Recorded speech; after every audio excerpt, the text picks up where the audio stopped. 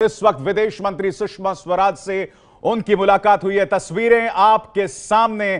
खास मेहमान ABP news पर लगातार वो एम्बेसडर काटजू ये मुलाकात हो रही है मगर इस मुलाकात में सबसे अहम मुद्दा क्या उठाना चाहिए भारत को? देखिए कई मुद्दे हैं। एक तो सहयोग का मुद्दा तो है ही अपनी जगह चीन कनाडा के साथ लेकिन उसके साथ साथ ये भी मुद्दा उठ, उठाना चाहिए कि खालिस्तानी सेपरेटिज्म को कैसे प्रोत्साहन दे रही है कनाडा? बिल्कुल देखिए गर्मजोशी से यहाँ पर मिली ट्रूडो की पत्नी सुषमा स्वराज से। उसी गर्मजोशी के साथ प्रधानमंत्री नरेंद्र मोदी में मिले अपने चेर परिचित अंदाज में। ये है एबीपी न्यूज़ आपको रखे आगे।